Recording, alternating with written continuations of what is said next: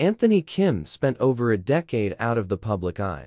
The once prominent golfer pretty much disappeared for 11 years before resurfacing with LIV Golf. It was a long time since he'd been seen, and he looked very different upon his return. Many noted just how different the pro golfer appeared.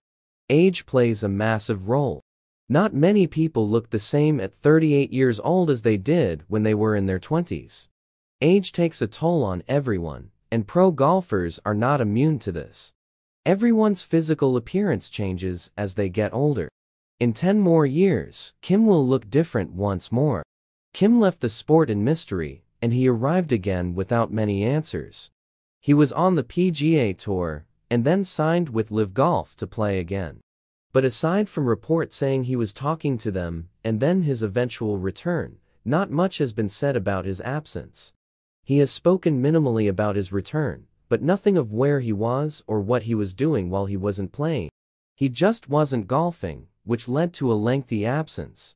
In his return, he's not the same person he was, either physically or in looks. Anthony Kim improving slowly in return to pro golf. Anthony Kim jumped back into the sport he once dominated after a 12-year hiatus. He was, understandably, not very good. He shot an astonishing 16 over and was dead last at Jeddah. His final round showed a little bit of promise as he made par on 14 holes and said he felt like he shot better than the scoreboard might have indicated. Kim followed it up with a much better but unimpressive showing in Hong Kong.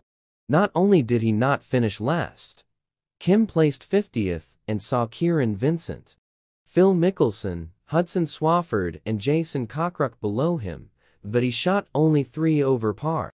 He shaved 13 points off his total from the weekend prior, indicating that he's at least rounding into form. He will be back out there for the next LIV Golf event, which is in Miami at Trump National Golf Club in early April. He has some time off, so Kim will need to work at it to maintain his momentum, but he could be placing a lot better in the near future.